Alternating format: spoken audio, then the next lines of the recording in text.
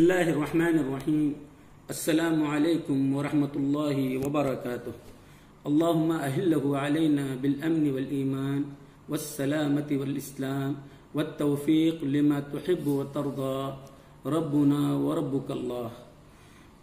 तमाम अहलियान भटकल के लिए रमज़ान मुबारक की आमद पर दिली मुबारकबाद कोविड 19 कोरोना वायरस इस वक्त कमोबेश दुनिया के हर छोटे बड़े, तमाम मुल्कों और शहरों में बड़ी मजबूती के साथ अपने कदम जमा चुका है और अपने पंजे गाड़ चुका है।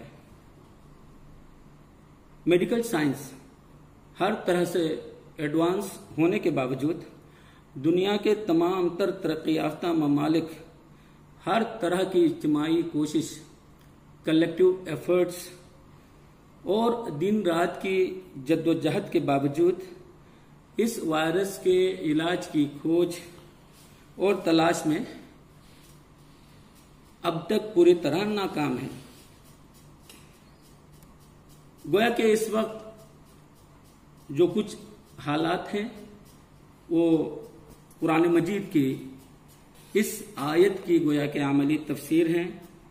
आउज़बिल्लिमिनशैतानरजीम बिस्मिल्लाहिर्रहमानिर्रहीम वलनबलुवन्नकुम बिशय्यिम मिनल खौफि वल जुइ व नक़्सिम मिनल अमवालि वल अनफुसि वत्थमरात वबश्शिर साबिरीन अल्लाह ताला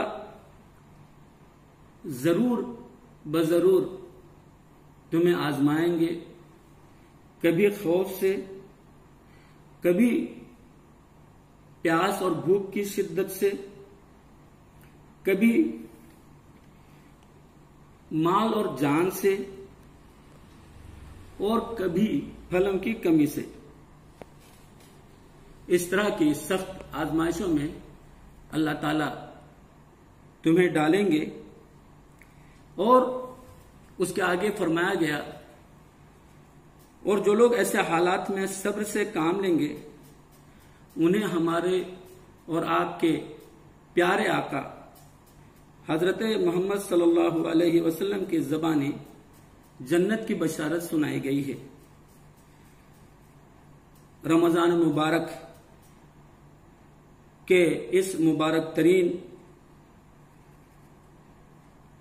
महीने की आमद आमद है, पूरा महीना और इसकी एक एक साथ और लम्हा मफरत और रहमत का है। रमज़ान मुबारक के मुबारक तरीन इन अयाम में हमारी कोशिश ये हो कि कोई भी लम्हा और वक्त हमारा ज़ाय न हो। हर लम्हा हमारी ये कोशिश हो कि हम अपने परवरदिगार को राज़ी कर लें। और हम अपने परवरदिगार को मना लें। ताकि हम अल्लाह को अपने परवरदिगार को राज़ी करके इस आलमी वबाई मर्ज से जल्द से जल्द छुटकारा हासिल कर सकें।